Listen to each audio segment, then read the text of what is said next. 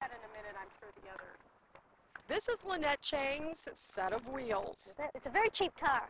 and it gets her from here to there to everywhere. It even comes with a sort of detachable U-Haul.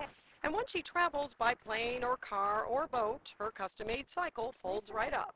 The next step is another quick release here. Lift that up. You can fold it in 30 seconds. It packs in this suitcase over here. And uh, the most important thing about it is it rides like a regular bike. And the handlebars usually sit here. There's a strap. This bike and Lynette have been to many places. Trinidad, Costa Rica, Cuba. The greatest thing about biking for me is that, unlike most sports, it actually satisfies three criteria. It keeps you fit, it's fun, but the third thing, which most sports don't uh, cater for, is, is useful. You can actually travel with it, so you can commute. like her three-month commute through Cuba.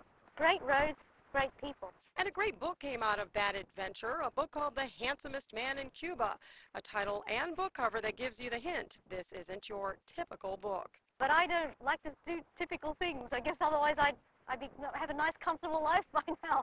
Lynette is comfortable about promoting cycling as a sport, as great exercise, and about taking life in. That's what her trek through Cuba was about. It's not so much about me having this jolly journey. I think it's about what we were like before the world started spinning too fast to jump off.